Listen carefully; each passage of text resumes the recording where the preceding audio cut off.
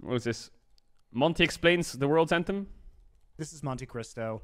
Riot just dropped their 20. By the way, I fucking love Monty content. I like to watch his podcast sometimes when he talks about uh, all the regions, when he gets guests on, when I'm like eating food off stream. I actually, I actually watch Monty podcasts. 2023 theme song for the World Championship called Gods, and I thought it might be fun to talk about the history of the moments they chose to depict within their music video. This is some, but not all, of Deft's Worlds appearances for League of Legends, and it's viewed through the lens of Deft Play the song while Monty's explaining. Bro, it's shut up. Stop now. against his former teammates. Shut it's up now. really right there on your screen.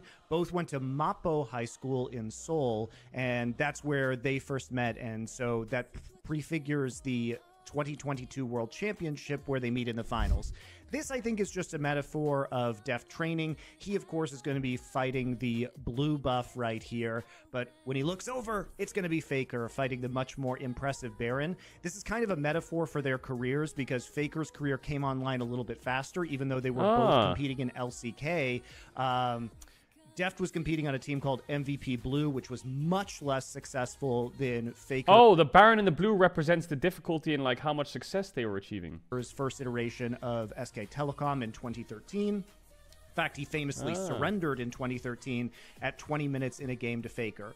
Now we're going Yeah, to 20. flash forward a little bit. This is the 2014 World Championship between Samsung White and Samsung Blue. That is Pawn, who is Deft's former teammate on Samsung Blue. They swapped at the end of the winter season that year. They swapped mid laners, didn't they? They swapped fucking what was it, Dade and Pawn. They swapped them, and Deft lost his mid laner. And even though Deft won two best of fives, he did lose in the semifinals of Worlds. Now we go to 2015 Worlds when he goes to China. He's on EDG. This is the series in the quarterfinals uh, where Rekkles, up there playing AD Kennen, uh, beats them. While uh, to so Fnatic then advances into the semifinals where they are eventually beaten by the Tigers.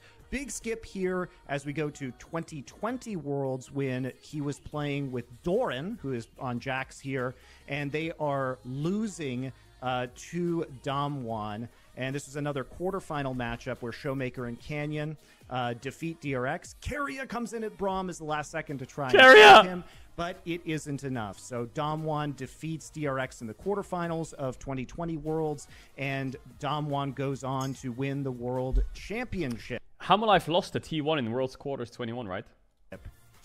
So we get to see three worlds very quickly back to back right there, kind of showing how Deft struggles, even though he did win an international title with EDG over uh, SK Telecom T1 in 2015.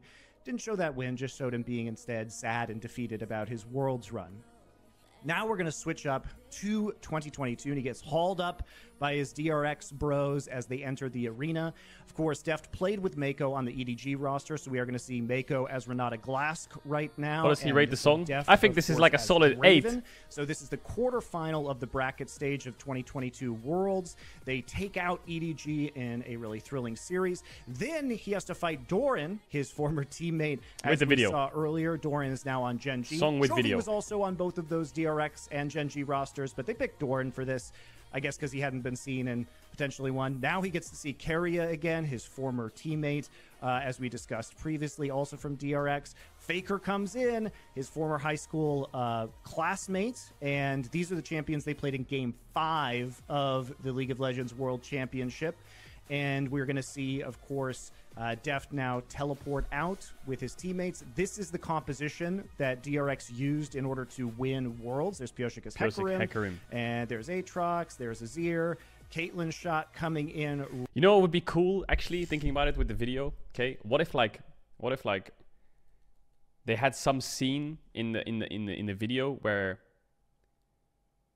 like DRX was like, killing them, you know, like getting kills on T1, and then like Faker and Zeus or something like appeared behind them, and then went for like a backstab, and then like King and and and and Zeka blocked it because they went for the back door, and like pushed them back, you know. That would be sick. right at the end in order to defeat Faker and Keria, and of course win Worlds. So what I really love about this is that I don't know why I open my mouth. Every time I open my mouth, you say shit take. Worlds in the bracket stage, he had to defeat many of his former teammates in order to go ahead and claim that championship. So I think this is really well done, and I hope you guys enjoyed some of that history. You guys just say shit take, Mr. Streamer. The second, the second I open my mouth, the second I open my mouth.